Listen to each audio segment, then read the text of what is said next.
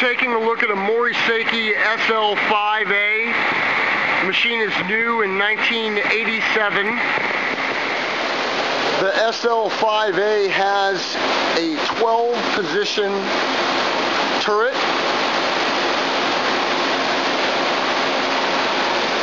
Fully programmable tailstock and quill. and has a couple of different chuck arrangements.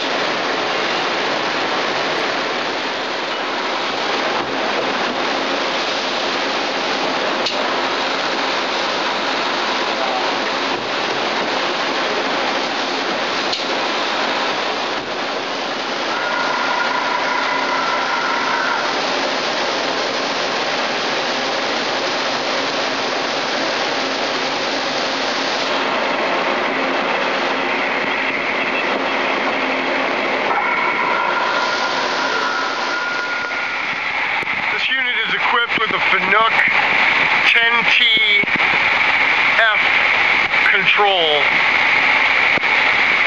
with FAPT conversational programming. The Mori SL is equipped with a uh, full-length chip conveyor, rear discharge. We're going to illustrate the uh, two geared ranges on the unit 1200 RPM. this is currently 1200 RPM.